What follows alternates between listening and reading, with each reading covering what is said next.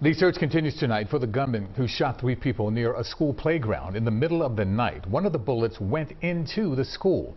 Eyewitness News reporter Jasmine Payoute is outside school district headquarters right now in Spring Garden. Jasmine.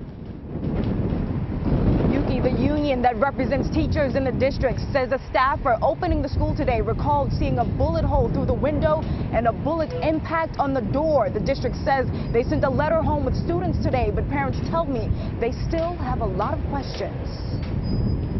A triple shooting on the third day of school has parents facing tough questions. He's like, Mommy, why is all the cops here? Mommy, what happened? Somebody got hurt, somebody got shot. Did we know them? I'm like, We don't know what to tell them. As they try to make sense of why officers and evidence markers filled an elementary school parking lot in Kensington. we've been here 26 years and we don't feel safe sending our kindergartner. Like, they, they're babies. Police say around 1 o'clock Wednesday morning, a gunman fired several rounds near the Willard Elementary School playground on Jasper Street.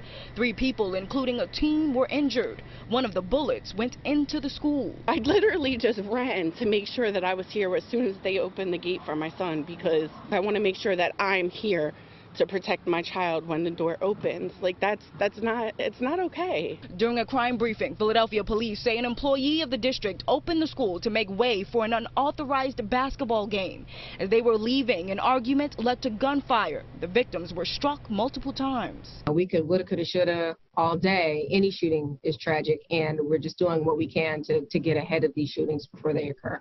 Neighbors say the school was placed on lockdown Wednesday morning as officials investigated. Parents were reportedly asked to pick students up from the auditorium for safety reasons. They say this is not what they expected so early in the school year. I pray for a solution. You know, got to make people accountable. You know, they have to be. If, if you commit a crime, you got to do the time. In a statement, the district says they were outraged by the shooting and provided trauma support for students today. Police are still searching for that gunman. Anyone with information is asked to contact them. We're live in Spring Garden. Jasmine Payoute, CBS 3 Eyewitness News. All right, Jasmine, thank you. We